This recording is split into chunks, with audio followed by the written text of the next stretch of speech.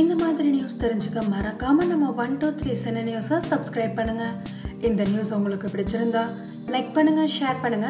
பிடிக்கலைன்னா comment பண்ணுங்க.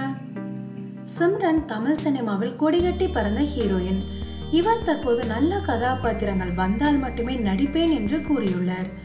விக்ரமுடன் துருவ நட்சத்திரம் படத்தில் நடித்த இவர் விரைவில் பிக்பாஸ் வீட்டிற்குள் செல்கின்றார் என கூறப்பட்டது.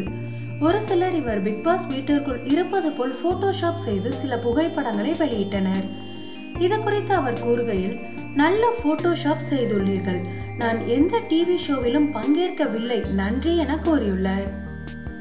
தமிழ் சினிமாவை தாண்டி இந்தியாவே கொண்டாடும் ஒரு நடிகர் என்றால் அது ரஜினிகாந்த் தான். இவர் நடிப்பில் சமீபத்தில் காலா படம் வந்தது.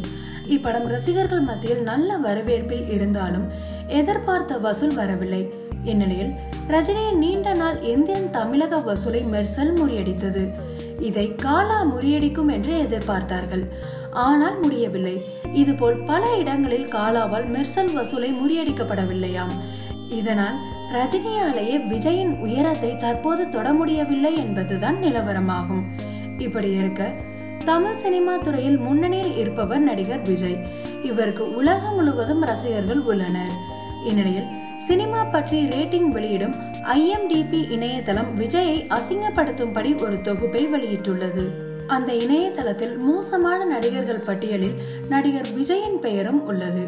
மேலும் விஜயை விமர்சிக்கும் வகையிலும் வரிகள் உள்ளது. இதனால் ரசிகர்கள் திரையுலகினர் அனைவரும் அதிர்ச்சியில் உள்ளார்கள்.